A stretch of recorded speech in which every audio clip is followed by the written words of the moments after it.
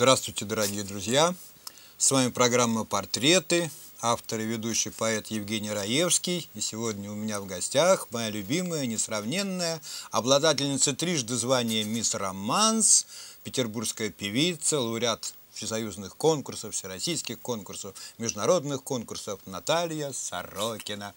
Привет, Наташа. Здравствуйте. Мы что-то давно с тобой не виделись в этой студии. Ну вот, э, спасибо, что пригласил. Ну скажи, вот, дорогая, вот смотрю я на твою вот эту вот самую афишу, да, и называется твоя программа «Исповедь хулиганки» ты меня тут в студии-то не, не побьешь случайно? Что значит, с каких пор ты кем угодно ты была, тут и белой цыганкой, и вертинские в юбке, и там как там... Две розы. Две розы, и зачем вам кольт мадам, да, это все наши, кстати, программы, которые мы с тобой, участвовал я в этих программах, и был, в общем-то, тоже и артистом с тобой вместе. Но вот хулиганка, ты понимаешь, что-то вот я не вяжусь с хулиганкой, это вот я не знаю. Э, объясни, пожалуйста, что это такое? Жень, ну тебе как поэту известно произведение великого Есенина, кстати, медаль, а, это значит... которую я... Это перекличка. А, это перекличка. Разговор значит, был великий, великий хулиган Сергей Есенин. Есть теперь великая хулиганка. Вот, кстати, это что за журнал-то у нас? Ваш досуг. И здесь у нас анонс тоже. Исповедь хулиганки и Наталья Сорокина. Вот в этом престижном, я смотрю, журнале, такой цветной журнал, очень Однако... красивый. Ну, хорошо, ладно, ну давай так. И чем ты там нас порадуешь? Каким хулиганством? Ну, э, у каждого свое понятие о хулиганстве. У меня хулиганство будет э, э, с элементами покаяния. А, потому что, ну, как э, говорил э, Сергей Есенин, э, моя биография будет очень краткая, а все остальное ищите в моих стихах. Вот точно так же я скажу, что все остальное в моих песнях и в стихах. Хочу только приоткрыть завесу небольшую. Я арендовала очень-очень дорогой агрегат, который будет действовать на этом концерте. Называется этот агрегат «Машина времени». Вот э, кому интересно, как она работает, Не, ну главное, пожалуйста. чтобы никто не бил там, а то знаешь, вот там, как это, робот полицейский такой ходит, там всех бьет. Нет, не такой агрегат. Нет, нет, нет, агрегат очень мирный. Ну, не заставляй меня раскрывать не секреты, надо, да, а то да. я сейчас поддамся твоему поэтическому гипнозу и опять выйду Ну вот, опять гипноз, время. опять гипноз. Ну ладно, хорошо, поэтический гипноз. И вот ты недавно выступила у нас на секции поэзии э, в музее квартиры Римского Корсакова. И, по-моему, ты была лучше всех, ну, не знаю, конечно, ну, я люблю и Диану Радос, но, ну, не знаю, как-то ты как-то под конец прочитала. Я, собственно, как знаток поэзии могу тебе сказать, что ты читала блистательно, и с тех пор, как ты вступила в Российский межрегиональный союз писателей, стала академиком нашей академии, ты очень выросла. А ты не хочешь сейчас дорогим телезрителям что-нибудь прочитать, может, свое? Прежде чем мы вернемся к твоим музыкальным делам. А, хорошо, Жень, ну вот э, ты не будешь обижаться, да, если сегодня в нашей передаче я приоритет отдам артистам, а не Нет, поэтам. Нет, не буду обижаться. Потому что поэты оставляют книги, что не сгорят и на крастрах. Да. Актер за прожитые миги рискует превратиться в прах. Слепив из крови и из плоти, чужой судьбы он крест несет. Актер, твой труд так мимолетен. Пускай любовь тебя спасет. Ну, блистательно. Вот я и я свою любовь сказать, что на этом помнишь концерте наизусть нет, ну, Наташа, Отдаю нет, ну, артистам, ты потому знаешь, что это моя тема. что я заведующий труппой, труппой теперь в театре родом из блокады, и тоже теперь уже газеты пишут, артист театра родом из блокады, Евгений Раевский, так что ничего тут такого нету, значит, и ты теперь поешь в этом театре. Приглашайте? Да. Я готова. Вот уже бабушки, дедушки мне звонят, а где ваша подруга? Я говорю, почему подруга? Ты говорю, она сама по себе приходит, договаривается с Макаром, а потом, да нет, вы обычно где-то вот все время вместе, если появилась Сорокина, Раевский где-то уже там Вот и приходите на исповедь хулиганки 6 ноября. Да придут на исповедь хулиганки. Куда? Как можно вообще не прийти? Твою исповедь. Ну, не знаю насчет... Ну, это начнем с того, что это очень интересно. Нет, это очень интересно, и все-таки Сорокина хулиганка, ну, я не знаю. Вот у нас вроде бы уже готов сейчас видеоклип, может быть, начнем с того, вернее, продолжим тем, что покажем что-то, какой-то видеоматериал твой, Ну да, да осенний, осенний клип на музыка Михаила Куприянова, слова Андрея Бонди, кстати, тоже член да, нашего... Андрей Бонди, кстати, академик нашей Академии русской словесности и изящных искусств, член Российского межрегионального Союза писателей. И я думаю, да, все, наступил тот самый момент, когда надо показать вот видеоматериал. Будьте любезны, дайте нам его, пожалуйста. Да. Пока еще не вся листва облетела. Золотая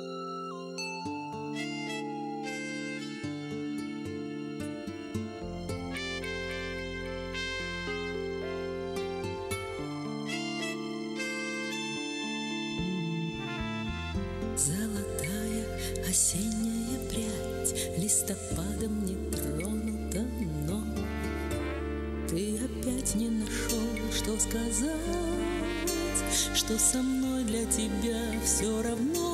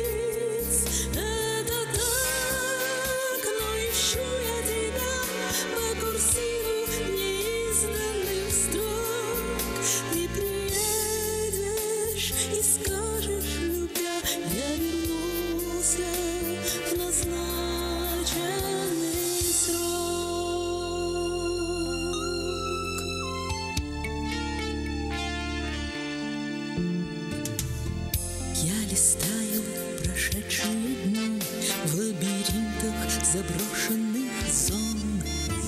Все, что было от Бога верни. Остальное забуду, как сон.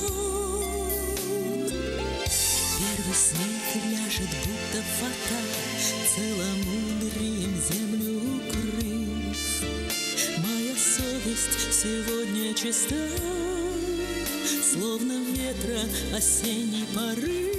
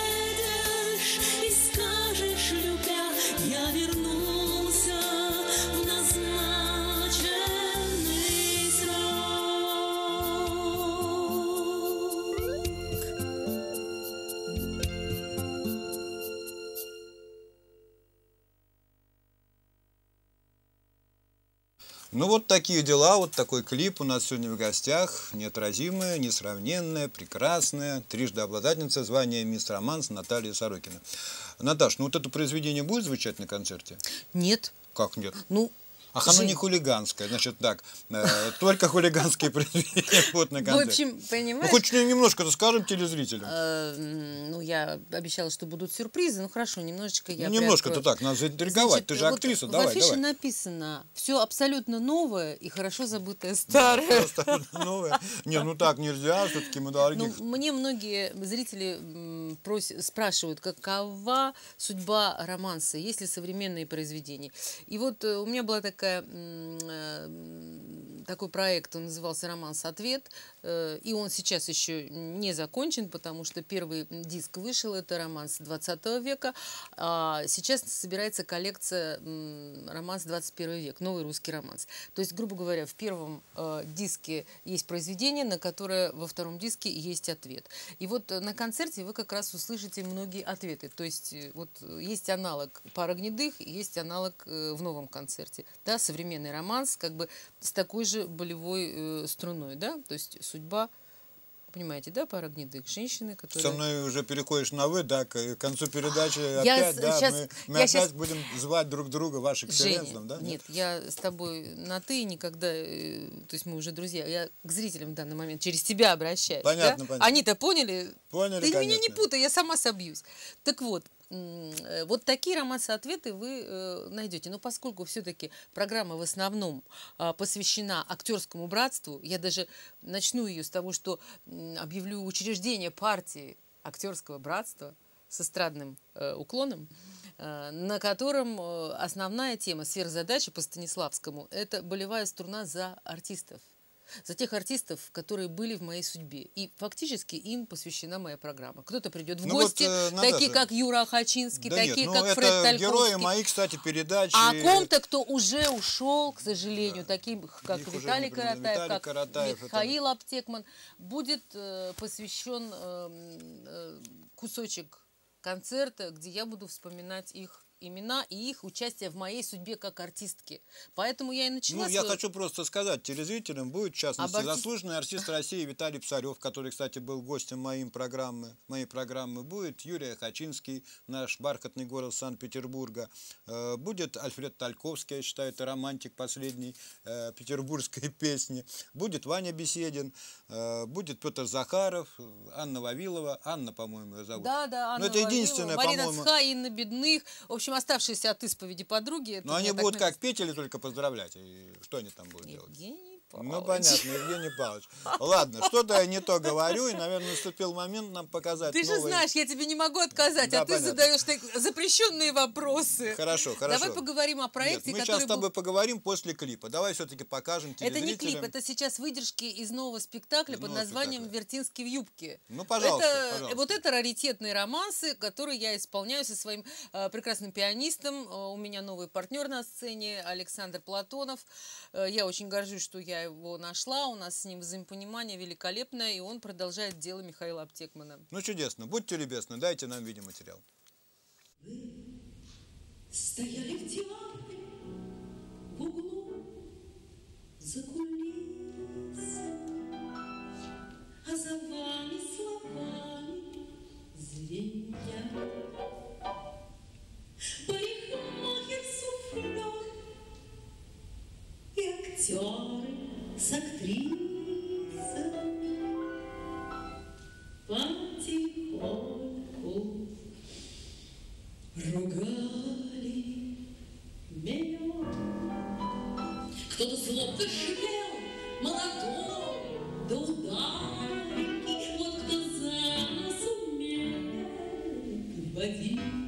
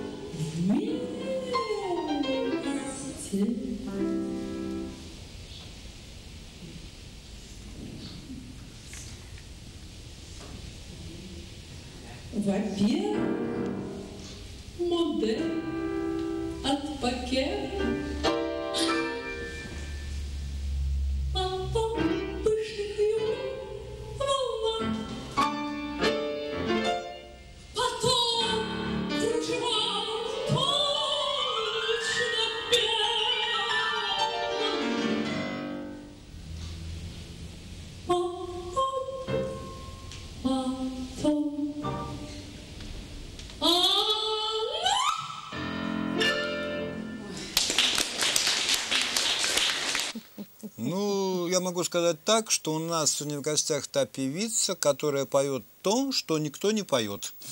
Да.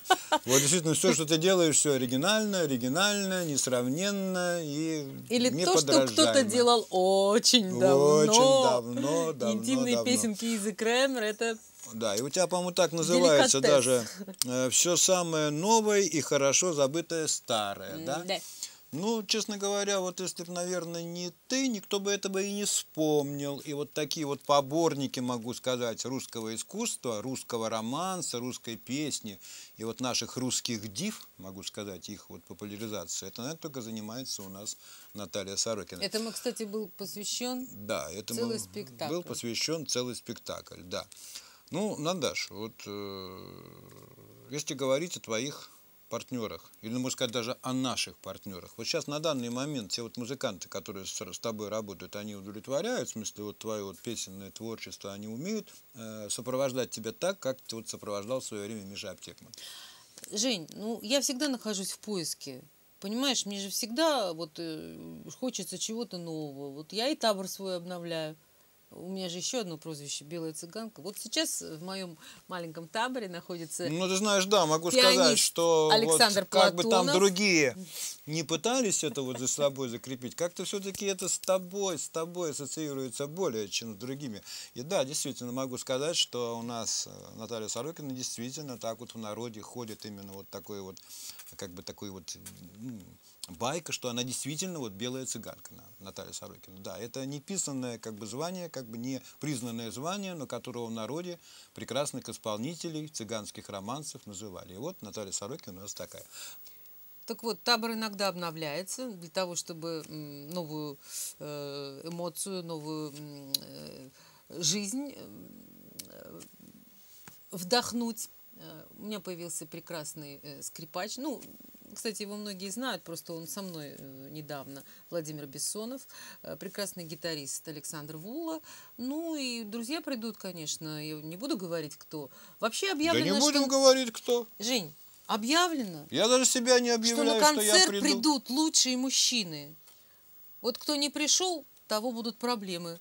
Значит, он себя не считает Это лучшим. Просто страшно прямо, надо при- приходить. Надо Приходи, приходить. приходи. Вообще, а кто может быть Ты лучше меня? рискуешь? Что-то я не понял. Ты даже, помню, сама говорила, что я самый лучший мужчина в твоей жизни. Потому что... мы Среди даже- поэтов, Женя. Да, ну да, конечно, среди поэтов. А еще есть музыканты, актеры, Да. режиссеры. Ой, как много и есть как еще. много. Ну ладно, хорошо. Все-таки А. мы к мужчинам другим вернемся. Ну а сейчас все-таки мы еще поговорим о двух мужчинах, которые были в твоей жизни. Это, конечно, Георгий Свиридов. Ну. Я считаю, это последний русский композитор. Ну и последний, наверное, русский поэт, могу сказать так. Серебряного века. Да, Серебряного века. Это Евгений Раевский. И вот мы отважились, отважились вместе с Свиридовым, могу так сказать, для Натальи Сорокиной написать вот такой роман. Кстати, что... как раз это было для спектакля «Две розы». Ну, может который- быть, я немножко вот так вот э, переговариваю, и, может быть, немножко даже прихвастнул в данном аспекте, но я считаю, что Наталья Сорокина действительно лучшая исполнительница вот этого самого произведения, вот этого великого произведения. И в свое время, когда, может быть, ты помнишь, Наталья Московченко задала мне вопрос на радио, а вы не испугались написать текст э, к этому самому романсу? Я хочу сказать, что э, просто в эфире нет, не испугался и очень горжусь, и я считаю, что вот мои слова соответствуют этой музыке. Я думаю, сейчас ну, наступил момент нам все-таки эту работу показать. Да, выдержки из спектакля «Две розы», музыка Свиридова, слова Евгения Раевского. Да, будьте любезны, дайте нам Кадры видеозапись. из фильма. Да.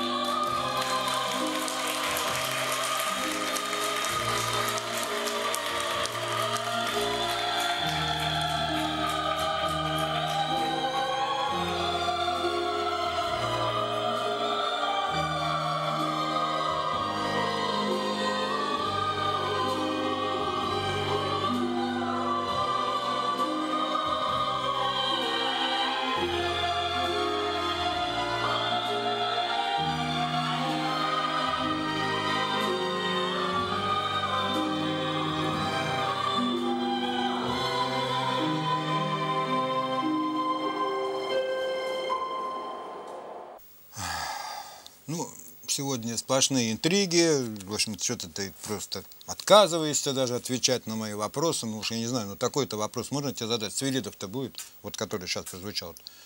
Жень, ты что, смеешься надо мной?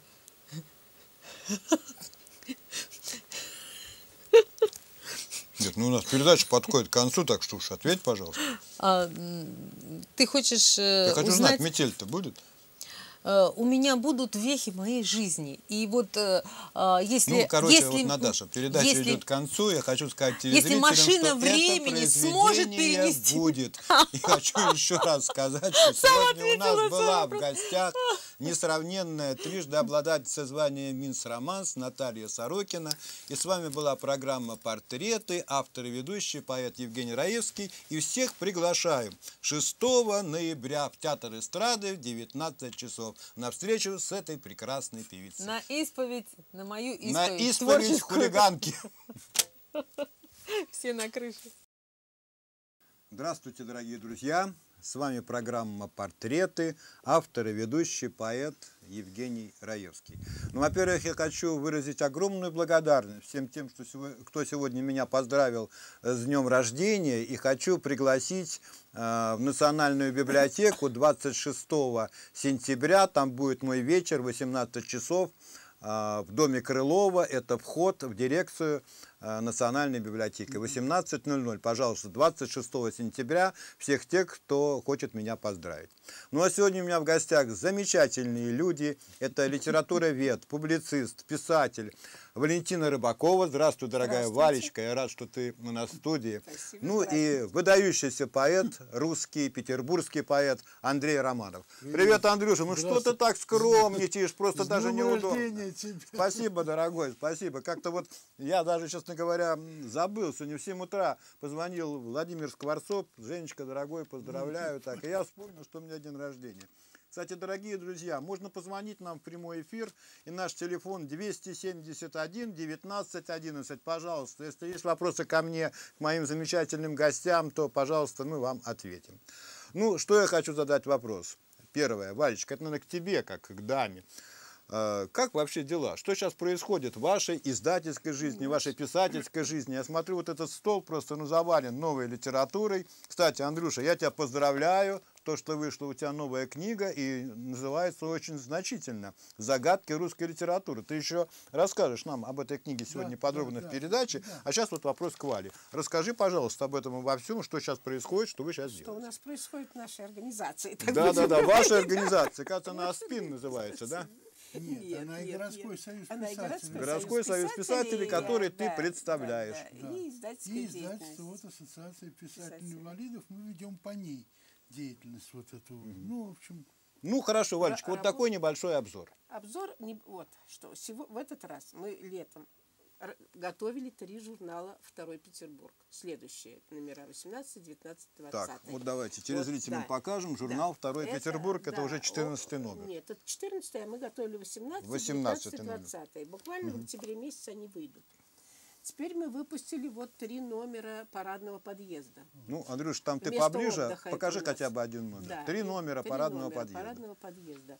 И, по-видимому, выиграли грант на, э, на, На федеральном. на федеральном уровне по книгам. Книги будем готовить, по-видимому, штук 10. Штук 10. Да, да. Ну, вообще не знаю. Ну, потрясающая работа, настоящая работа. летом мы не отдыхали. А, летом мы не отдыхали. Вот такой вопрос. Вот я что-то смотрю, вот иногда Дом писателя есть такой сайт, да, и там, э, значит, э, события, которые, значит, случаются, как говорится, иногда.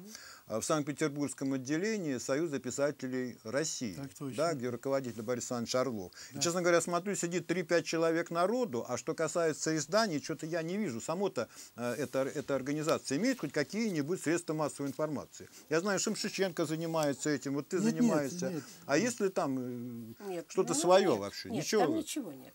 Как так? Я не Своего знаю. ничего Ну, нет. вот так. Ну, это уровень, по-видимому, уже не будем... Это, я, это мое личное мнение, что это уровень лито. Уровень Просто ли то? литературное объединение. Но если об органи- у организации нет печатного издания, нет газет, нет журналов, только что Ну, не это ужасно вообще. Честно говоря, огорчен. Мне недавно задали такой вопрос, но вообще существует ли Санкт-Петербургское отделение Союза писателей России или нет? Честно Ну, говоря, что о них вообще ничего не существует. слышно и не видно. Да нет. Формально существует. Формально И дело вот еще в чем. Молодых поэтов, писателей там мало, очень. Почему? Потому что, э, грубо говоря, прием в Союз писателей осуществлялся раньше возмездно. Почему? Потому что надо и билет оплатить, и за год оплатить. А ведь поддержку-то получает московское вот это высшее э, значит, отделение, не отделение, а высший э, союз писателей. вот. Поэтому молодых мало. И второе, поддержка Бориса Александровича, уважаемого Орлова, о котором вы сейчас вспоминали, он ее желает и требует. Почему? Потому что молодые, слава богу, видят, в чем дело. Не, ну я услышал, что как-то там дают какие-то миллионы. Есть Ну такое? вот я к этому и клоню, что говорили, что вот в этом году будут деньги, Союзу писателей всем дадут. Значит, мы сегодня разговаривали, значит, э, с людьми, которые что-то знают и в курсе, вот, поскольку, ну, работа огромная ведется, и мы многих очень людей знаем. И нам прямо сказали, что получ- по- получит только Ахматов. Алексей Ахматов, какой он должность занимает, Алексей Ахматов? Это петербургский поэт. Он петербургский поэт, возглавляет клуб молодых литераторов и издает, как это у него называется, Новый, м, молодой Санкт-Петербург. Пете- Молодой? Санкт-Петербург. Санкт-Петербург. Санкт-Петербург. Они хотели Петербург, но переименовали в Санкт-Петербург, дадут. Потом Овсянников такой есть, прозаик. Он, под- э, ему дают большую книгу делать и большие деньги. Ну, он под- о, о- о Сосноре, о Викторе напишет большие какие-то слова, и поэтому вот дают. Всем остальным там, ко- конечно, копейки. Это где-то получается в пределах там 300-400 Нет, тысяч. Ну, это очень, конечно, Да. маленькие деньги. Это не я смотрю, тут просто да. и говорить-то не о чем. Да.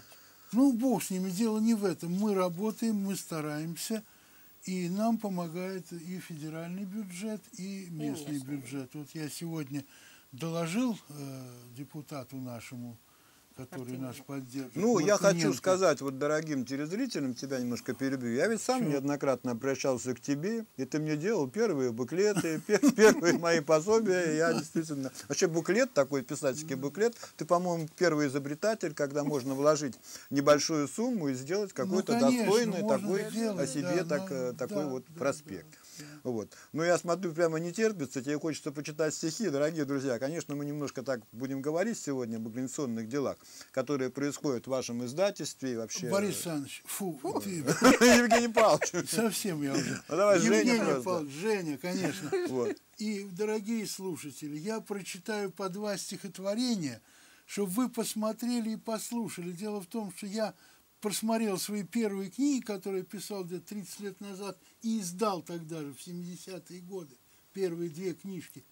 И смотрю, вроде стихи похожи на те, которые я пишу сейчас. Как же так? Ну, лучше А уже- показать, что там Сейчас. рассказывать. Давай, читай Давайте. стихи, и мы с удовольствием послушаем твои стихи. Ну, одно стихотворение, это касается вот э, начала блокады, Ленинградская вагоновожатая. Все, кто питерцы, а мы вот питерцы коренные, все знают. Зажегся сигнал отправления, в вагоне толпится народ, как тягостно в эти мгновения трамвай тебе двинуть вперед. И снова блокадный трамвайчик ты станешь в пути вспоминать, где тот необстрелянный мальчик свидание назначит опять.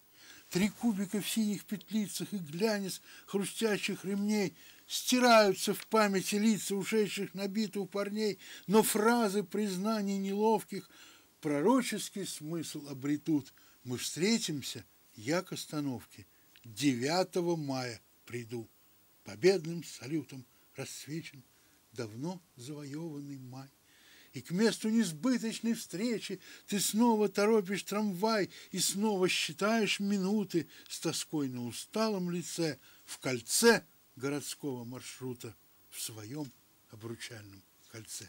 Блистательно. и второе Очень- стихотворение- Очень сильный поэтический образ. Пожалуйста. Э, Вот тоже где-то касающаяся цепная реакция школьных страстей любому столетию так же опасна, как взрыв Хиросимы, как ломка костей.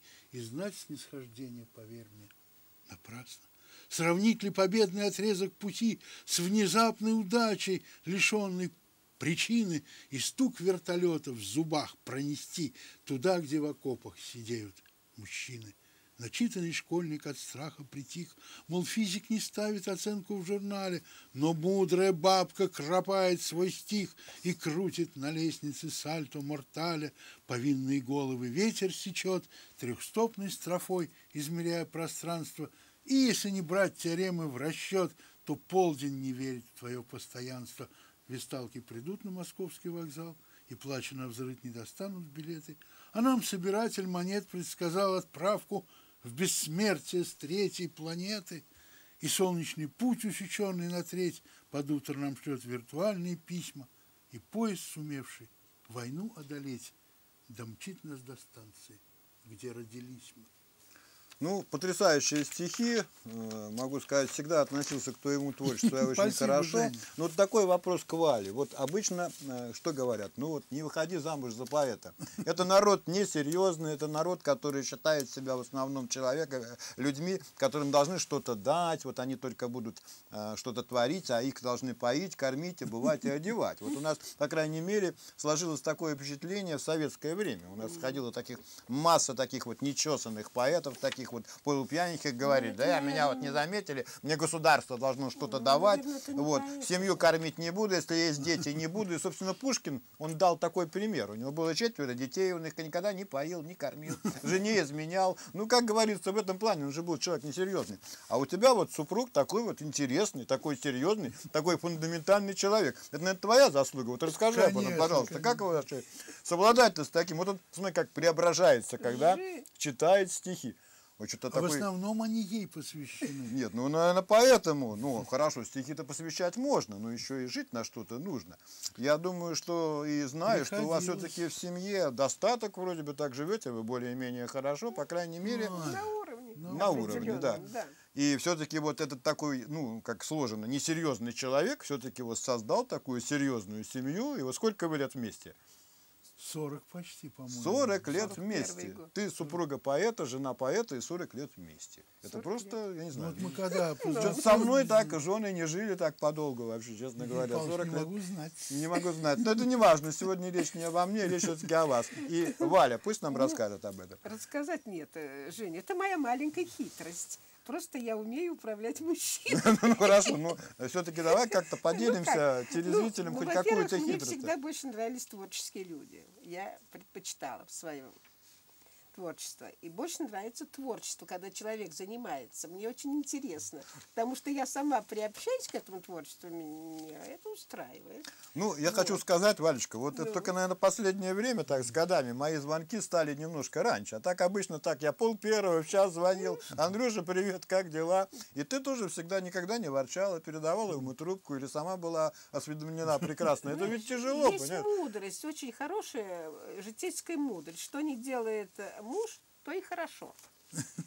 Неважно, чем он занимается. Ведь сложно жить не только с поэтом. С любым человеком творчества сложно жить. Да, и вообще все-таки, Даже... наверное, мужчины и женщины с разных планет, да? Ну, они разные. Если женщина не хочет и не понимает мужчину, то и не надо с ним. И не надо с ним надо, жить, да? Конечно, жить. Ну ладно, тем не менее, вот 40 лет, а уже был у вас юбилей или будет еще юбилей?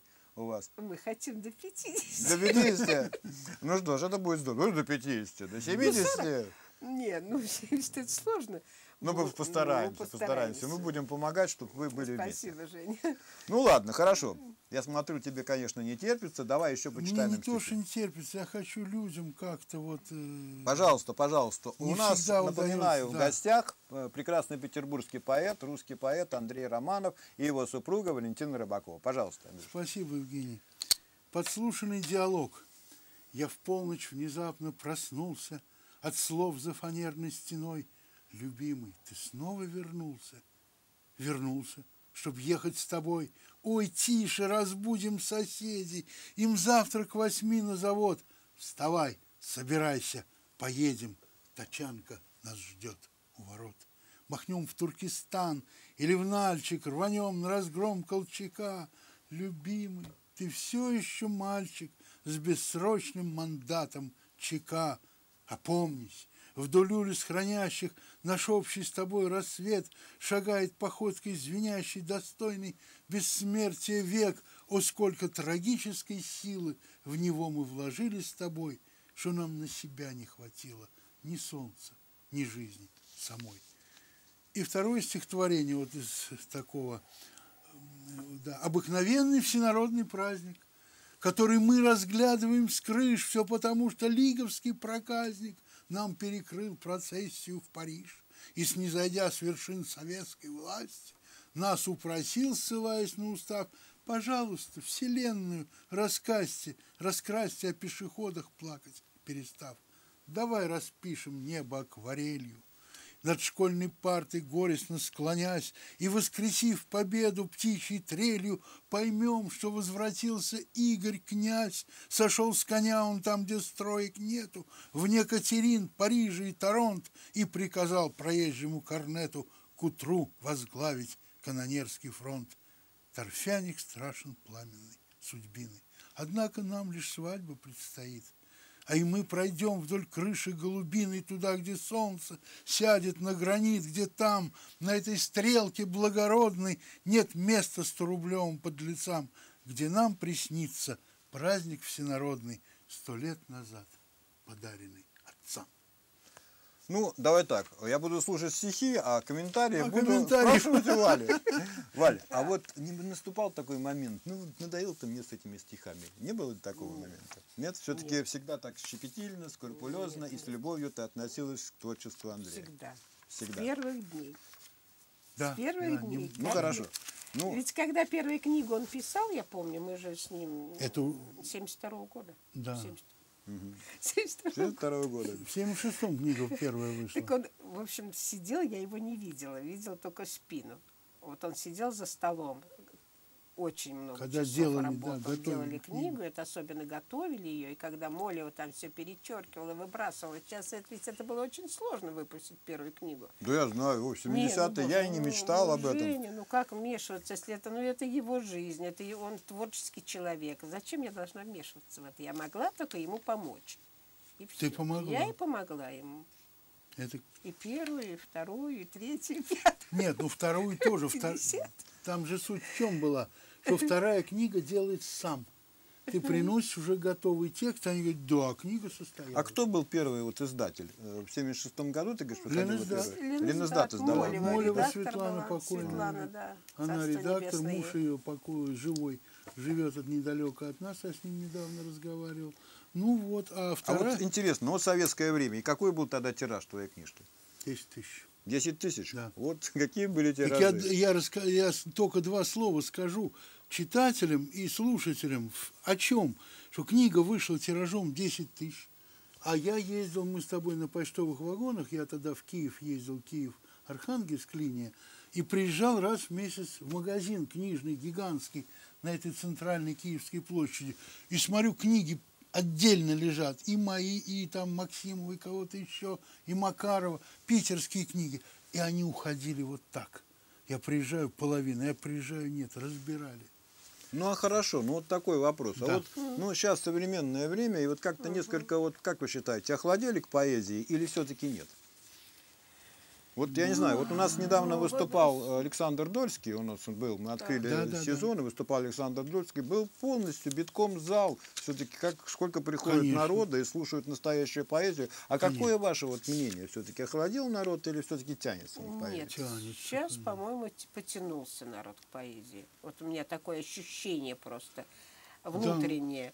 Какое-то время, да, вот в 90-е годы там на все было наплевать, а сейчас нет, идет возрождение. Э, появляется интерес и к поэзии, к хорошей литературе. Вот э, насчет загадки русской литературы. Вот, да? Да-да-да, Человек вот об этой книге, кстати, вот сейчас вот Андрей хотел бы, а чтобы скажу рассказали подробно. Пару Вот. слов. Вот, э, ну, он потом расскажет, как это Ты делалось, скажи, да. А вот прочитал человек, и самое интересное, что он сказал, что я вынужден был прочитать поднятую целину Снова. снова. То есть После то, что мы сдавали на экзаменах да. обычно в школе. Никто ее не читал. Не, А ну вот я после- читал.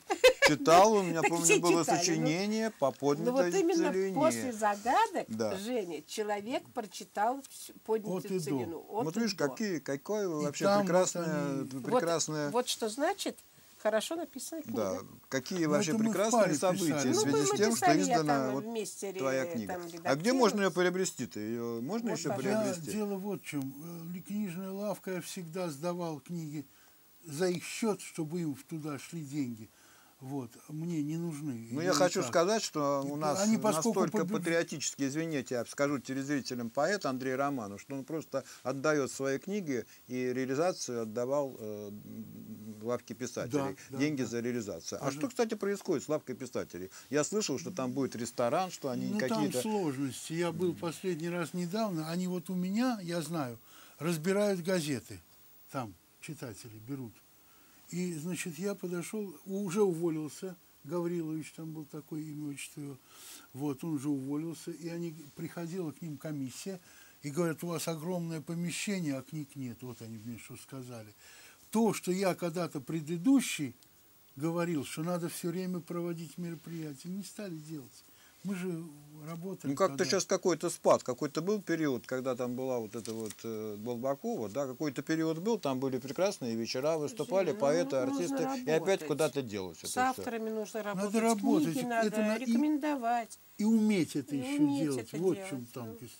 Потому что многие, которые показывают вот тех, кто и у вас бывает, я же слежу за вашим телевидением, прекрасное телевидение.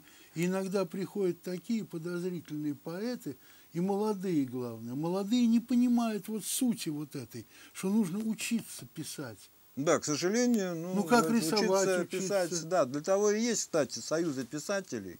Вот. Ну, литобъединение есть, при них, чтобы ходить и набираться ума, Да, ума да. разума у действительно профессионалов. А у нас есть сейчас такие люди, которые думают, что имеют деньги, они издали свою книжку, а дальше они ходят такие распальцованные, что просто страшно. Еще есть такая сейчас интересная вещь, я помню, ты об этом писал, что вот якобы там это у меня божественные стихи, православные стихи, мне так Господь подсказывает. У тебя, помню, была прекрасная фраза о том, что Господу не нужны плохие стихи. И абсолютно. Да, и, и не надо оправдывать, что там Господь так подсказывает. И, кстати, кстати, ведь поэтическое творчество, оно не благословлялось церковью никогда. Хоть и были поэты господними проводниками всегда, но никогда поэтическое дело, поэтическое творчество, оно не благословлялось. Ну, что делать? Вот. Наша передача вот неумолимо идет к концу, Есть идет к концу, время. и я думаю, что тебе надо снова Четыре почитать минуты. стихи, пожалуйста. Да, я еще, пусть люди только позвонят, когда они Нет, скажут, уже ты читай стихи. да, Ну, какие... дело в том, что когда читают Времени стихи, нет. видимо, люди, Да. это не касается тебя, думаю, люди слушают с удовольствием стихи, и вопросов у них Ну, нет. давайте, а то Пожалуйста. время идет. Успех не повторится, пока гремит гроза. Так что ж в душе творится? Раскрой свои глаза. Спасать твое наследство примчится адвокат. Но где сыскать мне средства на взятки и откат? Мой труд того не стоит. Знай, твой в стихах роман. Украсть присел за столик, мечтает графоман. Шампань, что с ним воскресло, не пей в конце концов. Пусть он плюет из кресла на творчество отцов.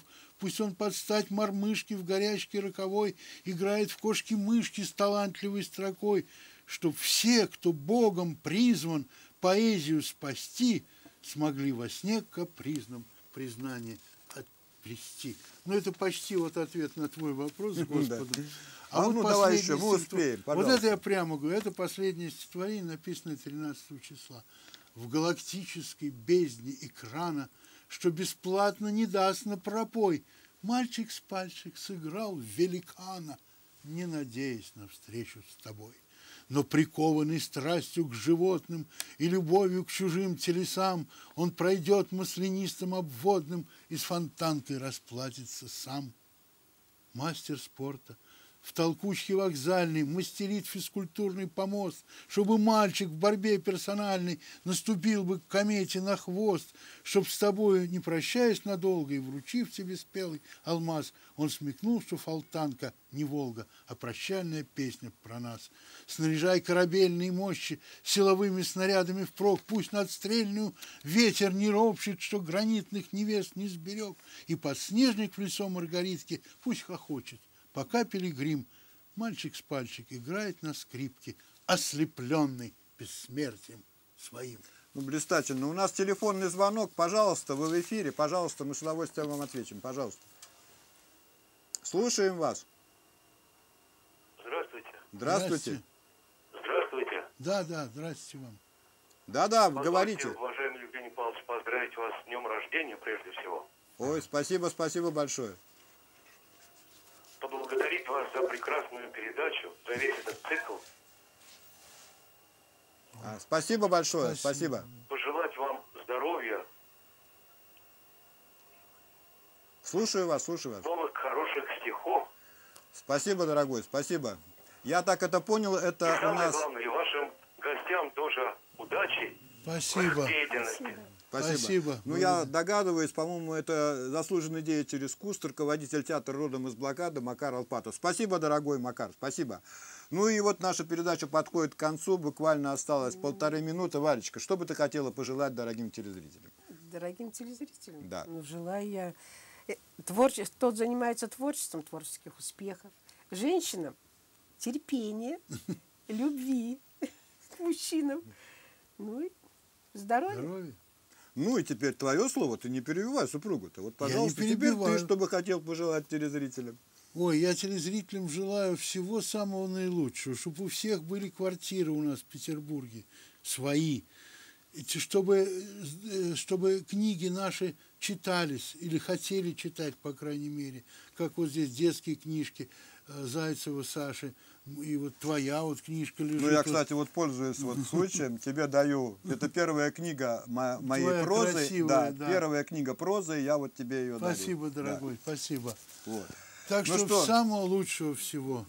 Дорогие друзья, ну вот немножко мы скомкали конец, мы должны... Ничего даже- страшного. Да, ничего страшного. Но тем не менее, сегодня у нас была в гостях публицист, э, литературовед, литературный критик Валентина Рыбакова и русский петербургский поэт Андрей Романов. С вами была программа «Портреты», автор и ведущий, поэт Евгений Раевский. До встречи через неделю, в субботу, в 18 часов. А кто желает меня поздравить, 26 сентября Национальная библиотека, Дом Крылова, 18 часов. Пожалуйста, дорогие друзья. До свидания. До свидания. До свидания. Здравствуйте, дорогие друзья! С вами программа «Портреты», автор и ведущий поэт Евгений Раевский. И сегодня по многочисленным просьбам я сегодня пригласил замечательного поэта, члена Союза писателей СССР, России, Российского межрегионального союза писателей, академика Академии русской словесности и изящных искусств Василия Ивановича Денисюка. Ну, я буду обращаться к нему просто Василий, потому что мы очень давно знакомы, и мне очень нравится И первые, и первые шаги, Женя, я делал Да, да, э, под твоим так. руководством. Я хочу поздравить вот в эфире. Да, И вышла- добрый вечер Да. тех, кто нас смотрит там, и всем хорошего здоровья. Хочу просто поздравить в эфире. Вышла книжка, которая называется «Репортаж с моей дороги жизни». И вот я сейчас написал статью об этой книге, и она будет в журнале «Золотое слово». Ну и также будет подборка стихов вот из этой самой книги. Но, э, значит, я... Жень, ты читал, по-моему, да? Вот я же тебе подарил эту книгу. Ты читал, да, конечно, конечно. Тебе не удивляет тебя острота э, моих статей таких? Или ты Ну, знаешь, наверное, мою натуру? Суть в том, что я знаю твою натуру, и ты сказал однажды, сейчас э, не то время, когда писать нужно только о березках, о любви, нужно писать и остросоциальные стихи, э, которые ну, влияют, в общем-то, на людей. Э, Великий национальный русский поэт Сергей Александрович Есенин сказал, что человек без стихов – это как э, природа без цветов, правильно? Вот. И поэзия – это высшая литературная культура, и без поэзии, я считаю, человек жить не может. И рано, рано или поздно опять наступит тот самый э, момент, когда мы вернемся к Тем тому, более, что- когда сегодня утрачена вот идеология государства, э, потому что в при капитализме той идеологии, которая была в Советском Союзе, нету, правильно? Нет. Сегодня каждый думает э, о, о себе и только лишь о себе. Поэтому э, стихами можно донести очень много. Ну вот, Вася, хорошо, мы еще почитаем стихи, но я хочу как-то задать тебе вопрос. Вот э, «Культурная столица», да, это альманах, где с тобой интервью. И там ты говоришь не, не только о стихах, я только пролистнул, а можно вот спросить у тебя, о чем там идет речь? Во всех моих статьях, Да. во всех моих статьях э, речь идет о э, положение дел э, в нашем государстве сегодня о том, что нет единства. И вот, вот, Вася, вот ты да. поэт, да? Да. И вот так все время тебя волнует, волнует этот про- э, вопрос о положении дел в государстве. Ну, а какие сейчас вот дела в государстве? Скажи, вот как опытный человек. Ну, во-первых, э, опытный человек, у меня жизненный путь, наверное, не маленький. 13 ноября, мне будет 65. Мы где-то ровесники. Ну, я наверное. немножко постарше, так Постарше. все-таки ты меня должен слушать. Да, об- обязательно. Значит, э, что сегодня меня беспокоит в государстве, да? С тех пор, вот с тех пор, когда э, Горбачев э, начал, помните, и углубил, а Ельцин, э, забравшись на танк, э, прокричал «демократию вперед», да? Я за демократию, кстати. С тех пор стало жить хуже. И меня это беспокоит, меня, человека, который, в принципе, вы знаете, Жень, ты знаешь, что я не последний кусок хлеба доедаю. Нет, да? я понимаю, но Черчилль сказал такую великую фразу, я считаю, что э, демократия это рай для негодяев. Это так вот сейчас? Вот, вот можно задать Ну, такой я, вопрос? я думаю, что да, до, до э, это было до 2000 года вообще э, повсеместно, да? Я не хочу сказать, что э, сегодня это уже этого нету. Сегодня есть, но когда Борис Николаевич Ельцин, за что я его очень уважаю, помните эту ночь новогоднюю, все, я ухожу. Вот он это сделал, да? Правильно, все он поступил правильно, но за короткое время вот этот рай для негодяев убрать даже такому человеку чистолюбивому, я считаю, что как Владимир Владимирович Путин, невозможно, потому что окружение, понимаете, есть особый сорт людей, будем так называть, Ну, называется вот, он а, чиновники.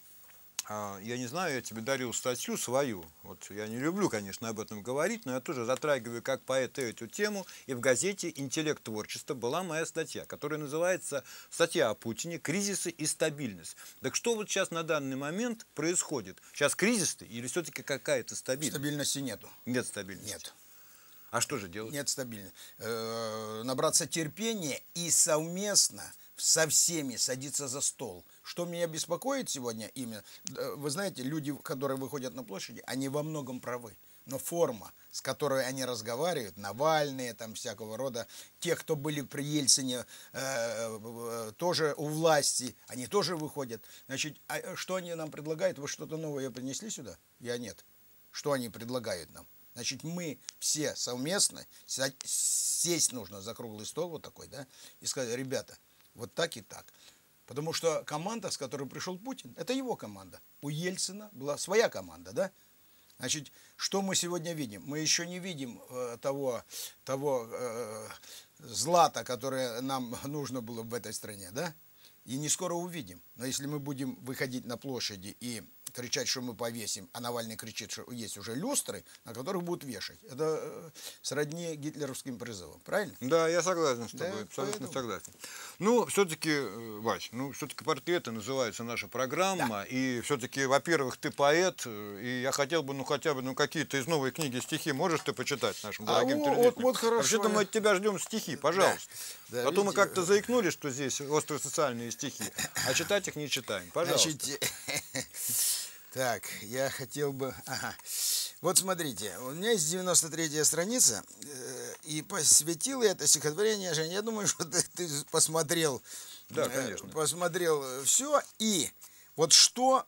э, Вот острое, кстати, все кричат, особенно либералы, я не могу этого слова, честно говоря, расшифровать полностью и дать ему такое определение. Что это такое? Я понимаю, что такое либеральное настроение, так сказать. Но, но вот эти либералы, которые, о которых мы говорим, в 90-х годах после них в подъезд нельзя было зайти где-то в течение двух часов. Понимаете? Сегодня они настолько свободны все. Быков, день рождения Путина. Дмитрий Быков. Понимаете? У меня сейчас вышла одна статья, где я назвал, у них гражданин хороший, если э, помнишь, э, они создали такую передачу на дожде, гражданин хороший. Я ее назвал двое с похмелья, один с перепугу. Значит, Ефремов с Васильевым э, с похмелья, а этот с перепугу. Ну, понятно. Да, и вот он на Путина написал такую кляузу в день рождения. Есть какая-то газета «Собеседник», где у него колонка. Понимаете? Я ответил ему.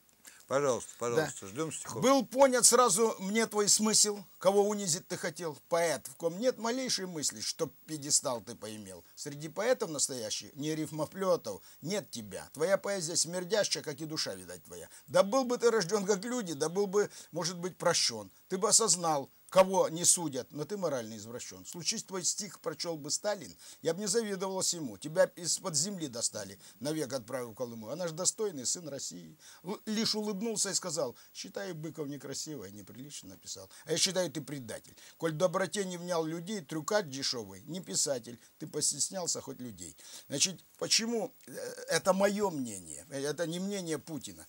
Но когда ты живешь в этой стране и видишь, насколько э, человек хочет, хочет исправить это положение в этой стране, ни одного стихотворения Быкова, где есть, чтобы общество сцементировать, я не прочитал. Ну, а хочешь мое мнение? Я Да. считаю, что да, у человека есть возможности выставить на тумбах свое изображение, сделать творческие вечера, но я его поэтом не считаю. Если бы вот так вот пошел бы разговор, взять его с нашу дорогую, любимую, чудаческую э, шатью братью поэтическую, я бы его не взял, потому что он совершенно из другой оперы, из другой жизни. И он не из реалий, поэт не из реалий. Ты со мной согласен? Спа- Спасибо вам большое за поддержку. Вот я никого не спрашивал о нем. Недавно он сказал, вы знаете, я не поеду в Израиль жить. Что я там забыл? Он не стесняется. Он говорит, ну я туда не поеду, потому что мне там делать не что. А что я буду там делать?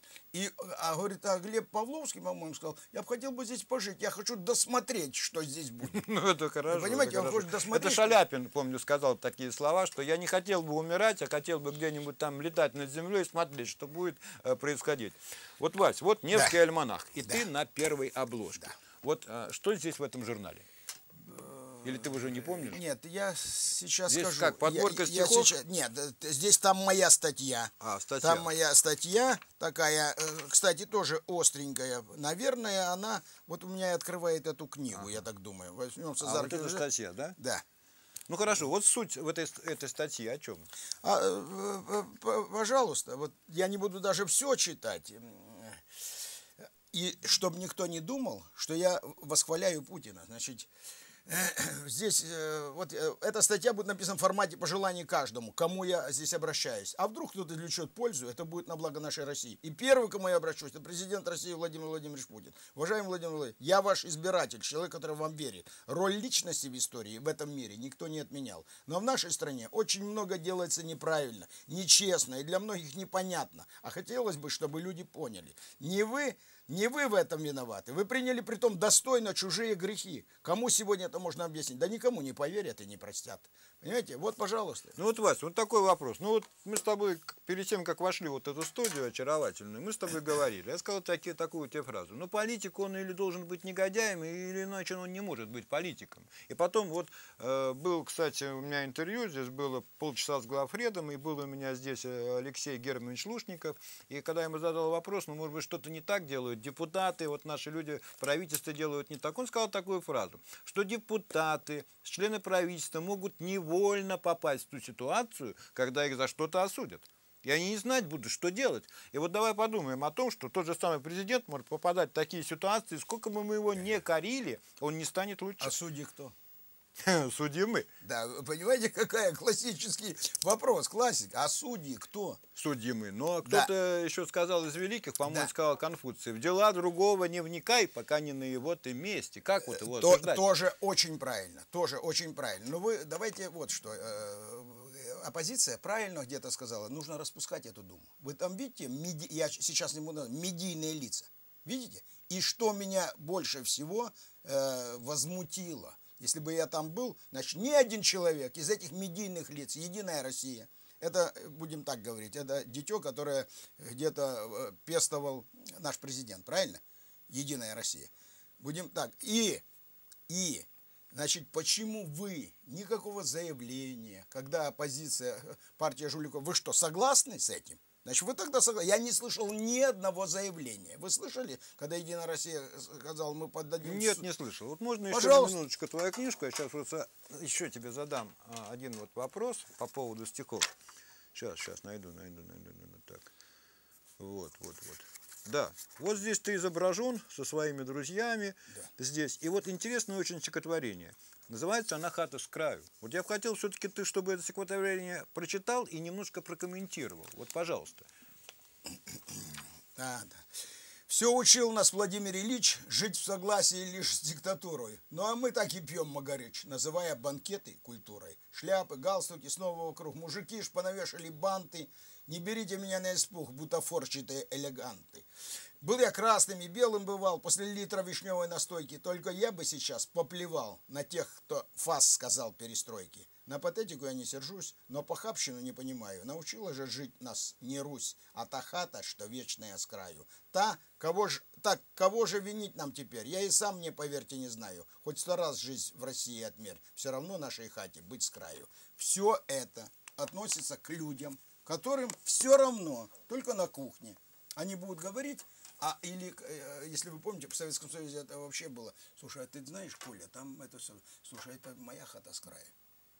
Вот, вот сегодня Ну, э, народ мыслит точно так же, хотя 21 век Несколько вот необыкновенный тебе вопрос, вот как поэту. Вот мы, э, ты издаешь книги, и я тоже издаю книги, я печатаюсь. Может быть, тебе делать какие-то творческие вечера и собирать людей, чтобы тебя послушать как поэта. Может быть, делать такие вещи. Вот я, я насколько Это- знаю, ты это не практикуешь. я а почему не выступить практикую иногда? И не люблю. В той же библиотеке. И я сегодня сказал тебе, что я вообще не считаю себя писателем. Меня возмутило то, что люди, э, которые вот э, выходят кликуши, которые выходят на улицы, они неуважительно относятся.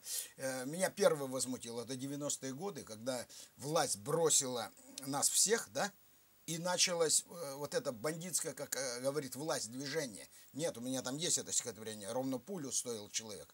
Помнишь это стихотворение, оно такое, значит, емкое и говорит о многом. И вдруг потом, а народ-то был, ну, что вам сказать, ну, вчера там таксистом собрал пару э, пацанов и кричит, я груди разрывал, а его никто не останавливал, потому что милиция пошла тоже в рекетеры, понимаете, они, он- они уже охраняли ларьки, а власть оставила людей. Потом она очухалась и наказала тех же ребят, которых она оставила. Понимаете? Вот в чем вся, вся беда с- сегодня. И я начал первый, если помнишь, так емко писать о тех ребятах. Да, абсолютно верно, абсолютно верно. Дело в том, что то, чем сейчас ты занимаешься, а ты как раз придаешь вот такую драматургию таким сикам, многие сейчас просто не занимаются. Сейчас я тебе скажу, в поэзии все-таки продолжаются березки, продолжается любовь, продолжается дружба, но остро-социальное сейчас слово не звучит. Но все-таки, с твоего позволения, вот возьму этот билет, драгоценный Союза писателей России, хочу сказать дорогим телезрителям, что вот не знаю, сколько ты, Вася, я не знаю. Но я ждал 24 года этого писательского билета. Ты знаешь, сколько я ждал? Всего столько, вот как... как Ну, не важно, не важно. это- это Значит, лет извини, все-таки это скромность твоя. И если тебе выдали билет такой, значит, ты писатель, извини уже, дорогой. Хоть у нас и нет профессии писатель, хотя бы могло об этом государство подумать и все-таки эту профессию учредить. Писателям сейчас, к сожалению, ну, не Я отпускается. благодарен э, те за признание. Вот если честно, за- я понимаю, что я уже в той когорте, где-то рядышком стою, в тех великих, да, э, вот мы с тобой там сегодня. Ну, там работает серьезная да, приемная да, да, комиссия, да. и там Да. не могут просто так человека, который не считает себя писателем, Да, делать но, писателем. но я вот придаю больше значения то, что э, вот смотри, Жень, как я поступаю. Я выпускаю, меня, ты знаешь, печатают многие, да? Да, я знаю. как молодая гвардия, ты помнишь фильм смотрел? Да, Когда конечно. листовки клеили. Так вот я, когда выходят журналы, беру их 200, 300 и ношу людям, дарю. Дарю я для вот для чего. Я считаю, что я пишу здравый смысл, особенно в публицистике, да? Здравый смысл. Я хочу, чтобы не было войны гражданской. Ну, все-таки, Вася, я немножко тебя перебью. Ну. Книги книгами, журналы журналами. Понимаешь, кому-то что-то нравится, кому-то что-то не нравится. Но Понятно. все-таки, я считаю, надо собирать как-то твоих друзей, своих поклонников и все-таки делать с тобой встречи. Но не только на телеэкране, а собрать любителей твоего творчества, собрать друзей и обязательно хотя бы вот на юбилей, но сделать несколько юбилейных встреч. Ну, не знаю. Не знаю, а я смотрю на это положительно. Ты знаешь, что я езжу, выступаю в быть. госпиталях, выступаю. Да, да. Я да. считаю, может что быть, это... Может быть, в этом есть, конечно, зерно такое правильное. И скорее всего, что оно есть. Вот. И, э, во-первых, это и я бы поучился, общаясь с э, аудиторией, что мне кто-то что-то подсказал бы. Не, ну естественно. Я, да, в этом есть. Ну, а подумаем. есть люди, которые доброжелательно относятся, действительно есть, которые с упоением слушают это. Ну вот хотел бы, чтобы ты вот на одной странице у тебя на 128 и 129 очень хорошие стихи, мне очень понравилось, и я их отражаю, кстати, в своей статье. Это статья «Успей» и «Новым поколением». Вот, пожалуйста, прочитай эти два стихотворения и прокомментируй. Жизнь коротка, тонка, как нитка. Одно твержу себе, успей. Спрячь горечь, подари улыбку, встречая каждый раз друзей. Успей прожить, увидев счастье. Своих и внуков, и детей немало видел сам ненастий. Так хоть им счастье дать скорее. Болит душа и более этой. Не вижу что-то я конца, любовью матери согретой. Я добротой весь в отца. Их доброта ко мне не стыла. И я, пройдя сквозь жизнь свою с поклоном самым низким сына, благодарю их и люблю. Значит, ну, это первое, это память моих родителей, которых, к великому сожалению, ушли очень рано, им было по 64 года. И как бы там ни случилось, они развелись, когда мне было 12 лет, но я и... Да, это очень больно, когда Да, происходит это. Честно говоря, хочется быть своим папой, со своей Да, мамой все да, время. да, и такое да. впечатление, когда ты э, общаешься Но- с ними, кажется, что они вечны. Это память, это память. Я, здесь я именно свое душевное я выразил в этом стихотворении. И я хочу, э, снова же, я хочу, чтобы э, у меня седина уже, так же, как и у тебя, я хочу, чтобы молодежь, вот эта, которым сегодня, э, она такая романтическая, знаете, у них романтик, чтобы они поняли, что однажды, однажды э, им тоже придется сказать, кто-то напишет, кто-то нет, и может пожалеть, что где-то мы когда-то э, где-то обидели там э, маму, папу, ну вот такая. Да, все это так, но новым поколением. Да, Я пожалуйста. обращаюсь к вам, ровесники мои, с кем, тем, кто нелегкие года когда-то прожил, живя, как нам давно завещано по Божьей, слова с делами соответствуя свои. Мы те, кто знали цену сказанным словам. И, сохраняя честь, солгать, предать не позволяли. В самих себе мы это с детства закаляли. Предать похуже, даже равносильно смерти нам. Уже убавилось несчитанно друзей. Убереги Бог нам терять опять друг друга. Пусть будет новым поколением порукой. Нам счастье их познавшим трудность людей. Значит, э, я прожил очень честно жизнь. Заявляю здесь, конечно, не безгрешен, но грехи... Ну кто, как грехи- говорится, когда Христу Да. привели самую великую грешницу, он Да. сказал, а кто из вас без греха? Да, бросьте Да, камень. конечно, бросьте камень, да. Поэтому я, э, но с моими грехами, я ну, смотрю вот в, э, в камеру и так в глаза людям, с моими грехами, они такие земные. Ну что делать, конечно, ну что делать, нельзя, нельзя жить без греха и никуда тут от этого не деться. Вась, ну вообще вот так вот, я знаю, что, конечно, многие мечты в твоей жизни, они уже осуществились. А какая есть у тебя мечта все-таки? Что ты мечтаешь? О чем ты мечтаешь? Вот чтобы у тебя было, или Ну, где-то побывать, вот или что-то сделать? Ну, во-первых, я уже побывал так, так много в, в многих странах, что я даже не помню, где я бывал. Значит, первое, у меня есть мечта, чтобы мне э, Бог дал. Попрошу я у Бога здоровья, остальное я все сделаю сам. Значит, смотрите, я, Жень, я хочу, чтобы у меня было, дал Бог здоровья, для того, чтобы побольше сделать добрых дел. Я стою утром, те люди, которые меня окружают, они знают. Я стараюсь э, хотя бы одно какое-то маленькое, большое там э, дело сделать доброе, ну вот больное по этому вопросу, понимаете? Те, кто меня знает, они, наверное, Ну, мы с тобой знакомы очень давно, по-моему, уже мы с тобой знакомы Лет семь, наверное, 7-8, да, так что да. да. я действительно знаю, что человек очень занятой и действительно сделал очень много добрых дел. Вот. И давай вот прочитай стихотворение. Только ты можешь душу согреть. Вот, э, и тоже А, да, прокомментируй да, да, стихотворение. да, Я да, тоже да, его да, вот да, отражаю в своей статье. Я надолго тебя покидаю, Украина, мой край дорогой. Только где бы я ни был, я знаю, для меня нет отчизны другой. Здесь делил я и горе, и счастье, словно с мамой родимой с тобой, и когда подступали ненастья, не искал я сторонки другой. Был с тобой до ясного дня я, а потом уезжал мир смотреть, восхищался другой землей, зная, только ты можешь душу согреть. Только ты, где прошло мое детство, можешь сниться во сне мне одна.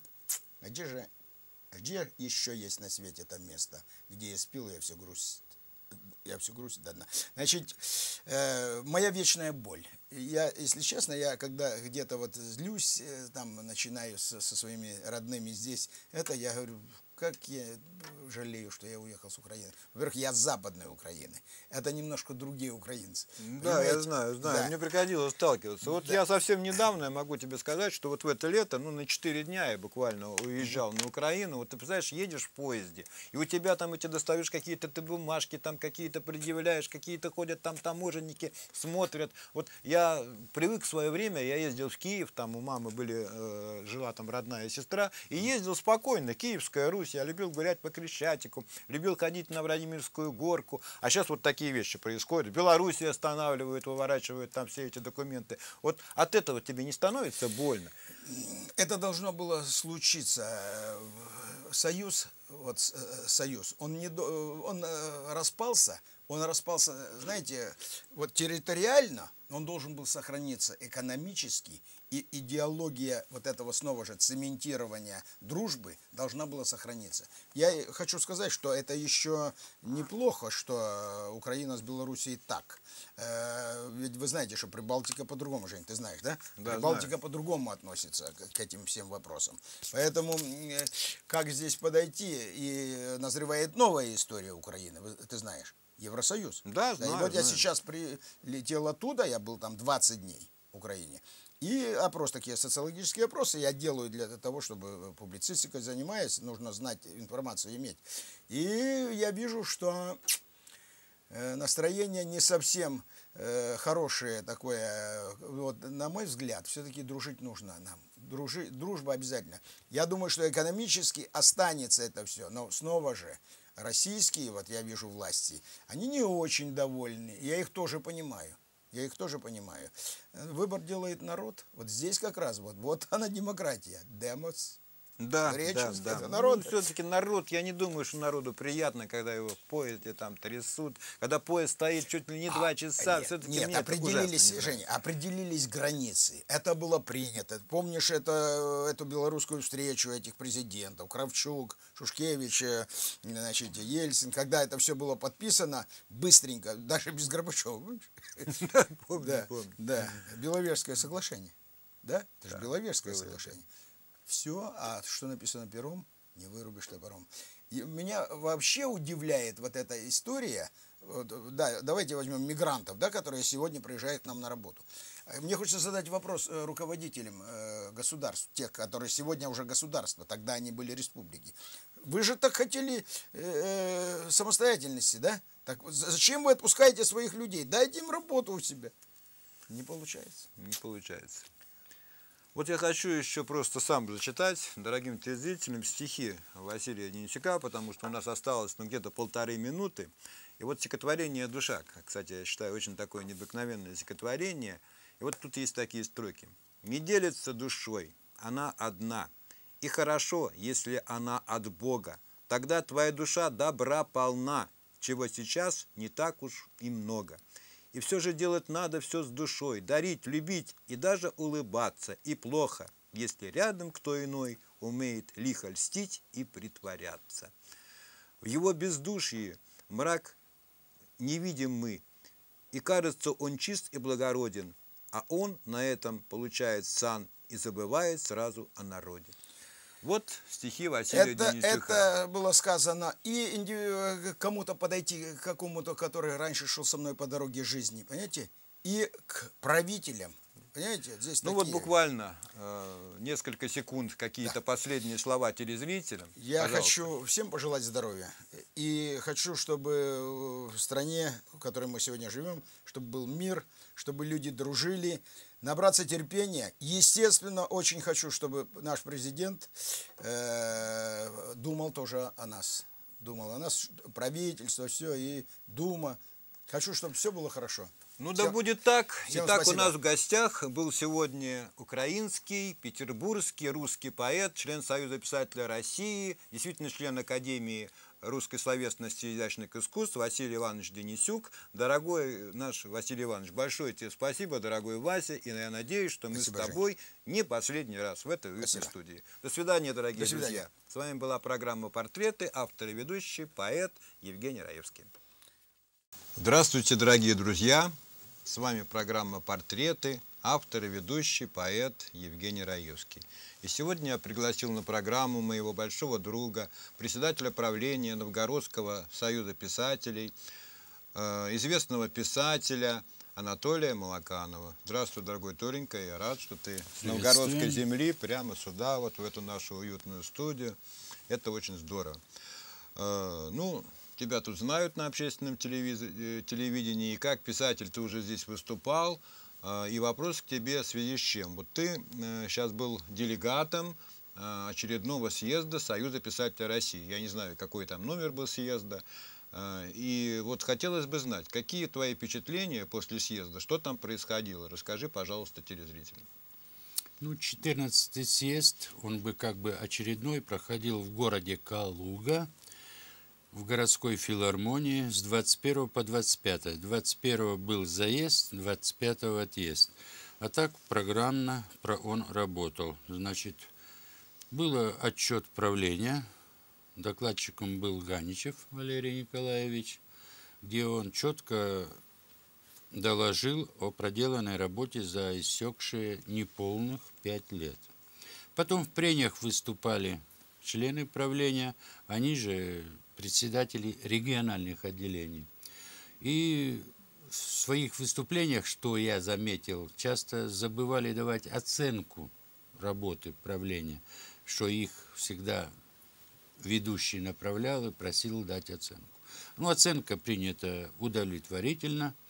Значит, выступило 19 человек. Зарегистрировано было на съезд делегатами 188, прибыло 164. Выступления были все ритмичные в адрес сохранения старого состава и председателя, и правления, и учредителей, что и произошло. Действительно, момент в настоящее время такой – что менять что-то председателя, пока он вникнет, нет смысла. Ну да, я знаю, что 168 было претендентов, по-моему, на пост председателя правления Союза писателей, но тем не менее оставили Валерия Николаевича Ганичева. А в связи с этим, в связи с чем, объяснить можно поподробнее, в связи с чем все-таки пришло... Претендентов, пришли... я бы сказал, не было. Не было, да? Да, в своих выступлениях выступало 19 делегатов, после чего, значит, подвели черту, а записанных было более 30, в том числе и мне выступить не пришлось. Вот, значит, в связи с чем? Наша организация общественная, и сейчас очень тяжелое положение с созданием на Комсомольском проспекте в городе Москве, который находится под охраной, и с 2014 года его хотят в ремонт производить. И сказали освободить помещение. Но там такая идет борьба, что, возможно, нам этого помещения назад в аренду не дадут, а просто дадут две комнатенки. Поэтому Ганичев Валерий Николаевич, он очень вхож, и его знают, и большие круги, Поэтому мы считаем, что это решение совершенно верно.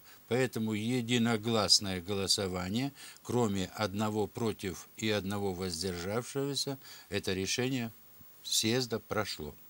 Было, конечно, выступление одно и очень критическое в адрес работы правления. Это Станислав Юрьевич Куняев. Это главный редактор журнала «Наш современник». Он выступал очень остро, и не свои пять минут по регламенту, он использовал 10, где, как бы можно, если так выразиться, разложил на лопатки не только правлению работу, но и самого Валерия Николаевича Ганичева. Но, тем не менее, критика была выслушана и правильно понято, и тем не менее съезд проголосовал за прежний состав. Ну, а я одно хочу сказать, просто я как это понимаю, что пришли к выводу, что все-таки Валерий Николаевич сейчас необходимый председатель правления для Союза писателей России. Ну, да. еще можно такой вопрос. Ну, вот так тебе лично такой вопрос. А, ну, как ты считаешь, а вот если бы все-таки Ганичева не избрали, ведь, наверное, пришли бы какие-то серые люди все-таки к правлению, да? Конечно, вопрос муссировался, когда в марте месяце проходил очередной пленум, на котором я тоже присутствовал. Там были кандидаты определены, но это выходило так, что наш бы Союз писателей России подпадал под другое влияние, понимаете? А за Союзом стоит, как вы знаете, и недвижимость, и дом писателя в Переделкино, и прочее, и прочее. Поэтому на данном этапе пути решение совершенно верно. Хорошо, ну а такой вопрос все-таки, ну вот ты часто бываешь в Москве, и все-таки, ну как бы задать такой вопрос необходимо. Ведь дело в том, что Союз писателей, любой Союз писателей, какой угодно, Москвы, Петербурга, России, Башкирии, как угодно, он имеет статус общественной организации. У нас как таковой нет профессии писатель. Не было ли разговора на съезде о том, что все-таки как-то это узаконить и все-таки сделать профессию писатель ну, законный, не общественный. Нет, не было об этом Нет, разговора. такого разговора не велось, потому что мы выведены с 91 года в разряд общественных организаций, то есть живем на свои спонсорские и членские средства. Поэтому очень тяжелом положении мы находимся. Некоторые региональные отделения, скажем, Республик Татарстан, Башкирия и прочие, там губернаторы и прочие содержат Да, они союзы. заинтересованы в том, что Да, чтобы конечно. это было. Получают зарплату председатели. Вот если мы живем, мы ничего не имеем от своей работы. А практически мы работаем, и работы очень много на сегодня. Ну, вот я хочу просто похвастаться дорогим телезрителям. Вот совсем недавно, это вот прям еще пахнет новизной. Вот вышел журнал «Новгород литературный». Да, Там третий номер. напечатан, это уже третий номер. И вообще по толщине, я вам скажу, это может позавидовать любой, наверное, толстый, как говорят, толстый журнал, который существует вообще в России. А, Постоянно выходит сборник стихотворений «Все поэты Новгородской области», и там, так, кстати, печатаются и петербургские друзья. Да. Вот. И также выходит альманах Новгородской писательской организации «Вечи». И, в общем-то, я так знаю, Толя, это ты все достаешь средства, это все твое Значит, общение как со обстоят спонсорами. дела, Да. я могу рассказать. Это контрактные сборники «Вечи» и все поэты Новгородской области. Это символическое такое название. Значит, действительно печатаются. Мы сначала участвуем в конкурсе, его выигрываем, как правило, и после этого мы заключаем контракт на издание этих сборников. Если вечи, то это в большинстве члены Союза там, проза, поэзия, и мы включаем туда наших друзей. Поэтический сборник, в основном, значит, поэты в нем, прозаиков там нет, и, безусловно, члены литературных объединений. На сегодня, если мы сотрудничаем с 22 литературными объединениями, это и города Великого Новгорода, и всей Новгородской области. Как бы их направляем, они, следим за их творчеством и печатаем в этих сборниках.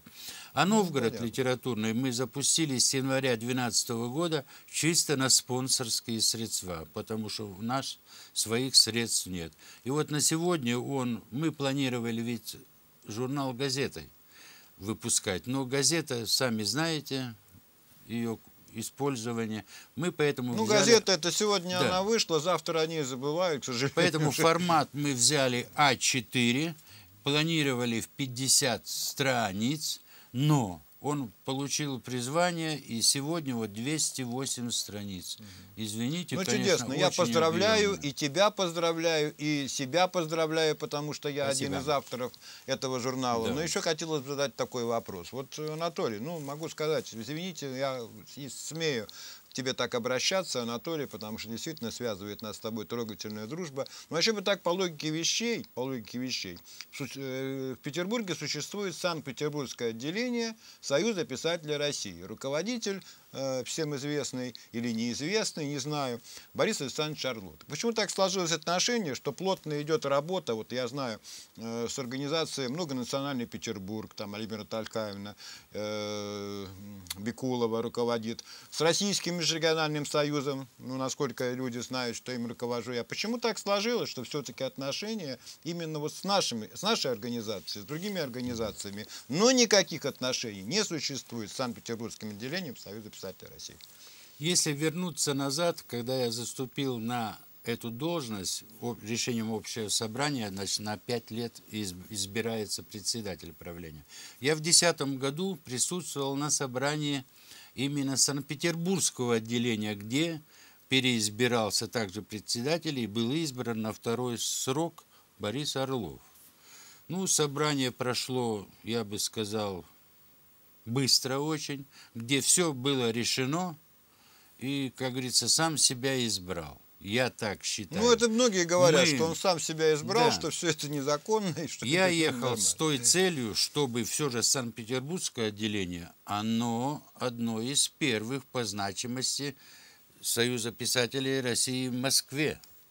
И оно является и как бы и учредителем, и работает по доверенности по уставу Союза писателей. Но дружбы как таковой, контактов почему-то у нас не получилось. И поэтому мы на сегодня сотрудничаем не только, мы же с региональными отделениями и Мордовия тесно сотрудничаем, о чем проходил пленум в октябре прошлого года. Мы сотрудничаем с Татарстаном, с журналом «Север», в Санкт-Петербурге, вот многонациональный национальный Санкт-Петербург, также Российский межрегиональный союз писателей, кстати, Академия русской словесности, изящных многие, да, приняты но только не Союз по творческим Орлова. трудам приняты в эту академию, являются ее членами. Это очень и очень отрадно. Но на сегодня действительно круг наших связей, знакомств очень широк. Да, действительно. И я так. считаю, это необходимо творческим людям. Только общение приносит положительный результат. Потому что если работать самим, зацикливаться, результатов не будет. Ну, я хочу сказать телезрителям, что встреча с новгородскими писателями у нас около ста человек приходило, и знают таких писателей, как Росляков, Анна Губаревская, Елена Белкина, ну и, конечно, знают, уважают и любят Анатолия Малаканова, который Да, мы сегодня у нас постоянно, в эфире. конечно, присутствуем. Вот. Ну, мы все говорим о съезде, все говорим о каких-то проблемах и событиях, которые происходят среди писателей. А как сам, э, чем ты сейчас занимаешься? Что ты пишешь? Какие у тебя сейчас вот дела? Чем ты сейчас Ну, занимаешься я как писатель? прозаик, у меня на сегодня, конечно, это, как говорится, мы не профессионалы, я скажу честно, потому как у каждого у нас есть основная деятельность, работа. Я пенсионер, правда, сейчас уже свободный человек, но я прозаик. Значит, меня интересует чисто житейская тематика. Это трудные семьи, там трудные дети, северная тематика, где я 25 лет проработал, очень такая жизненно важная. Поэтому вот эти книги вышли. Но сегодня, конечно, меня потянуло куда-то дальше. Я хочу знать, откуда мы появились на этой планете.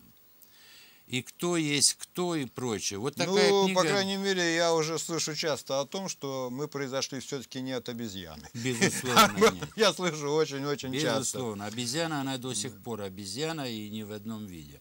Поэтому действительно вот эта тематика меня интересует. Книга начата писать, материала много, много своих предвидений, выводов, что очень важно. И я думаю, что она в 2014 году должна выйти. Ну, дай бог, чтобы эта книга вышла. Ну, вот, Анатолий, еще такой вопрос. Ну, вот все знают, что писательный народ очень сложный, народ штучный. И, э, насколько я знаю, что когда еще познакомились мы, э, я знал всех председателей правления, которые были до себя, и Макарова, и Иванова, и знал э, всех, конечно. Я, как литератор, был связан с ними в какой-то степени. Макаров, в частности, одно время руководил и тем союзом, которым сейчас руковожу я. Вот. Ну, это такой тяжелый народ. Как ты со всеми управляешься? Объясни, пожалуйста. Вы правильно сказали, что не человек, говорят, то характер. Характеры, они все штучный такой товар. Как ты все-таки, от тебя так все любят, как ты добился этого? Понимаете, действительно, Новгородская писательская организация, она, ну, их было 16 человек, и она пережила очень многие и упадки, и подъемы. Что говорить? На сегодня нас 75, то есть за тот период, когда слабо работали мои предшественники, председатели, шло ни приема не было, ничего, люди варились в своем котле. Мы эту справедливость восстановили. У нас сегодня практически 90% руководителей литературных объединений, они являются членами Союза писателей России. Они плодотворно работают. С каждым контакт, я же идеолог. У меня высшее политическое образование, как по идеологической работе. Это раньше было, помните, э, университет марксизма, ленинизма, который многое давал. Это умение сказать, умение встретить человека, выслушать и прочее. Вот таким путем я нахожу контакт.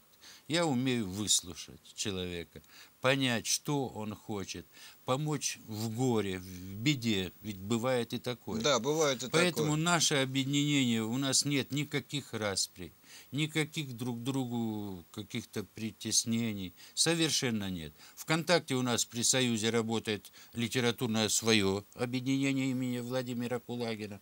Также работает, как и у вас, секция поэзии, секция прозы, секция художественного перевода работала сейчас, пока приостановлена из-за болезни того же Макарова. И это отрадно. Ну вот хорошо, Анатолий, такой вопрос. Отрадно, да? Ну, а как ты все-таки, может быть, назовешь каких-то несколько имен? Э, у нас большая аудитория. Э, Кто именно тебе вот сам приятен, нравится у тебя в твоей писательской организации? Наверное, ты знаешь ту, ту самую деятельность, ту самую литературу, которую производят в свет э, твои писатели. Может быть, несколько имен людям будет приятно? Безусловно. Значит, я скажу так, из старого контингента, это, значит, Смирнов, Виктор работает отрадно и за что получил в 2012 году премию Валентина Пикуля. Получили премию Зверева Наталья Романова, она на сегодня уехала Да, в она, Москву. знаю, она уехала Да, в Москву. Она получила вот последние две премии за свое творчество. Она поэтесса, но перешла на прозу. Ну, Как всегда, вы знаете, в возрасте поэт переходит на прозу. Ну, не, мне бы Поэтому- не хотелось. Я, конечно, ты знаешь, владею хорошо прозой, но мне стихи писать я, наверное, не Но тем не перестану. менее, значит, Наталья Зверева получила две премии. У нас неплохо пишет Аргунов Анатолий, это Карпов, Аргунов это псевдоним. Симаков Александр Петрович, который поднял вопрос Демянского котла. А вы знаете, это Новгородская область, Демянский котел.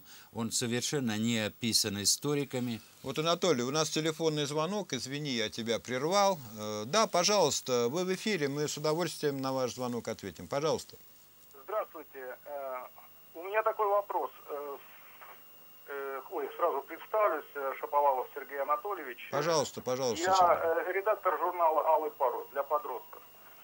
У меня такой вопрос. Вот в самом Новгороде как существует связь э, вот поколения старых писателей, или можно сказать опытных писателей, и начинающих, каких-то молодых? Если э, смена, идет ли она по стопам? А, Спасибо, По спасибо. Мы поняли вопрос. Пожалуйста, Анатолий, к тебе вопрос. Да, у нас постоянно идут встречи в школах, в библиотеках, вот именно с маленькими такими школьниками, а то и дошкольного возраста, где мы, наши писатели, поэты в основном встречаются.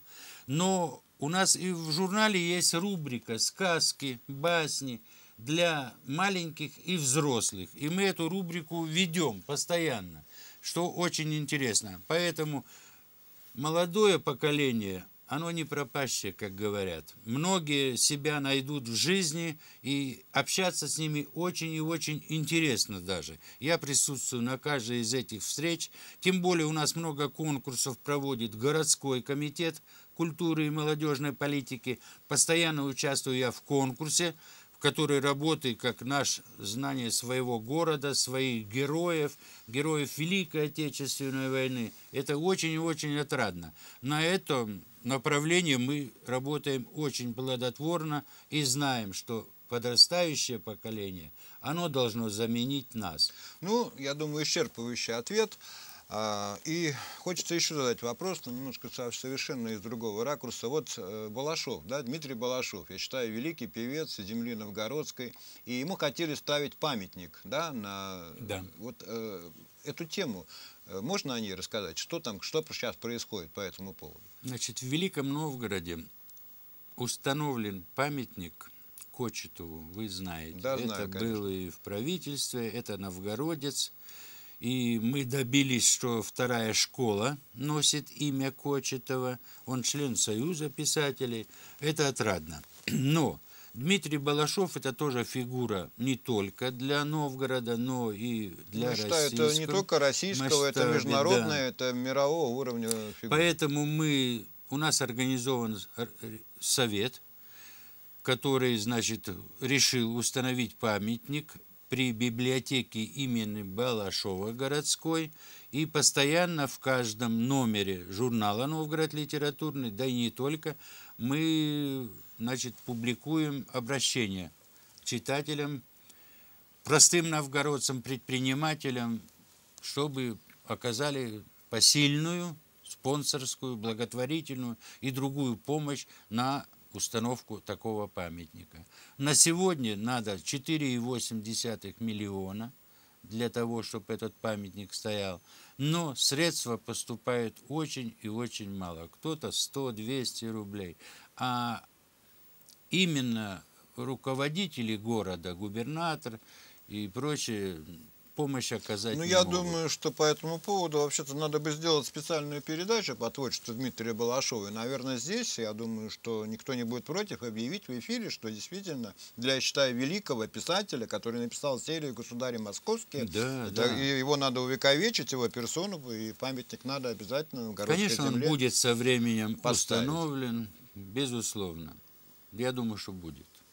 Ну вот э, мне очень понравилось последний раз, когда выступали у нас на секции поэзии ваши э, писатели. Мне очень понравилось, как поют у вас. э, это Володя Зимин и Аза Михайловна Яковлева Да. поют. Вот как люди вообще, они живут вроде бы ДК пролетарский, такие профессиональные люди. Они где-то учились. Вот можете рассказать о них? Я знаю, что поет, у вас многие поют. Поющие у вас есть писатели и поющие поэты. Можно как-то о них рассказать? Значит, когда я заступил на свою должность, то я заметил, что у многих поэтов поэзия именно песенная. А вы знаете, есть отли- отличие большое песенная поэзия и современная То поэзия. что-то до концу передачи все со мной переходишь на вы, на вы. Да, ладно, я по-прежнему Значит, остаюсь у нас другом. большая связь с композиторами, которые живут не только в Новгородской Ну, области. назови, м, пожалуйста, фамилии, людям будет приятно. Значит, Андрианов Ну, это вообще Иванович. потрясающе. Великий, да. великий, кстати. Он наш член Союза, кстати, Великий, поэт. кстати,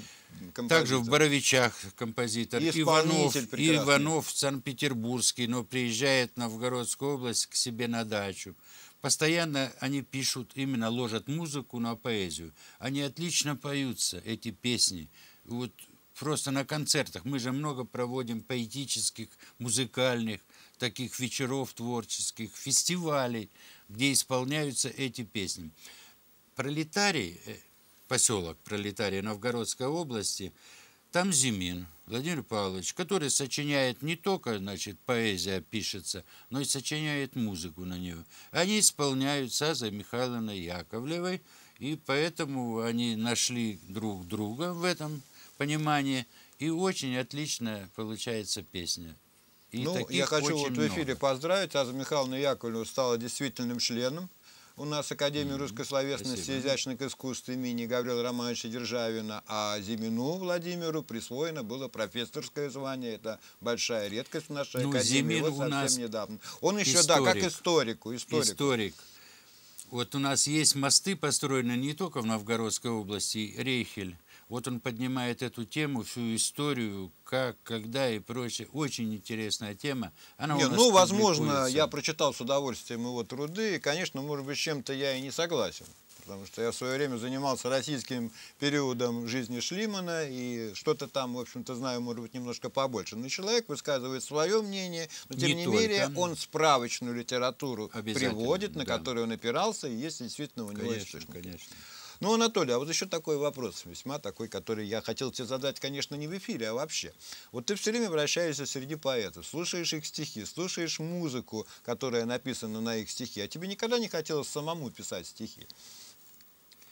То ты ж в натуре, вот я чувствую, ты ж поэт, ты понимаешь... Вот, По молодости мы все начинали с любовной лирики, поэтому поэзия, конечно, была и у меня, и она где-то в запасниках она есть, но я ее, честно сказать, никогда оттуда не вынимаю. Ну, может быть, все-таки надо вытащить и как-то несколько стихов твоих давай, как-то, как говорится, плохое это К слово. эпиграфу своей книги одно стихотворение, как вот книга «Как мне хочется в детство вернуться», есть эпиграф один, чисто детский такой, именно деревенская тематика, вот она, это стихотворение как бы приведено, а остальные нет.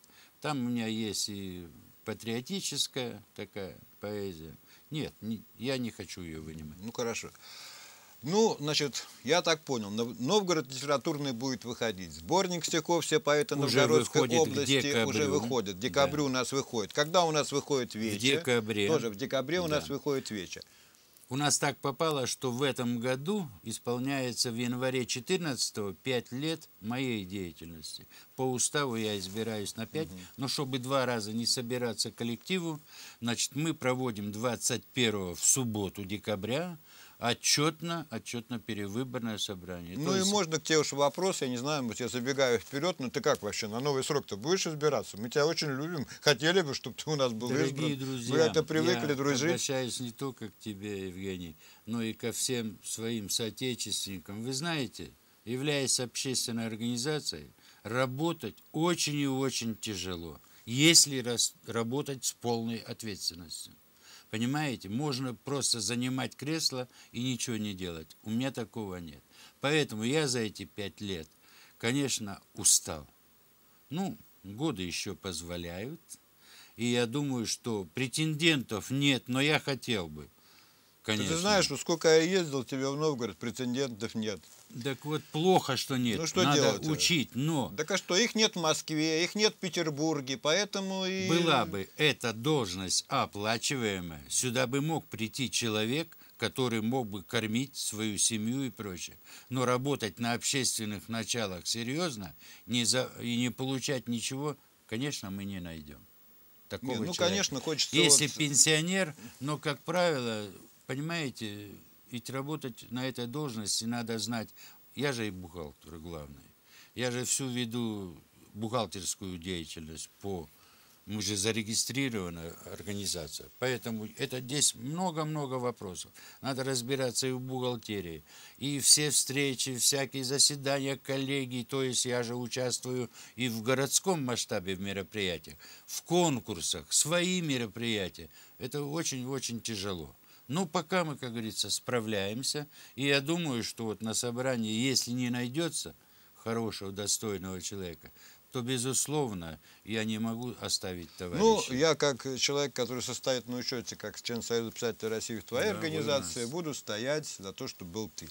Итак, наша программа неумолимо подошла к концу. Дорогие друзья, сегодня у нас был в гостях действительный член Академии русской словесности и изящных искусств имени Державина, профессор этой, Академии, член Союза писателей России, председатель правления Союза писателей Великого Новгорода, писатель Анатолий Малаканов. Я благодарю тебя, дорогой Анатолий, что сегодня ты посетил нашу уютную студию телеканала ВОД.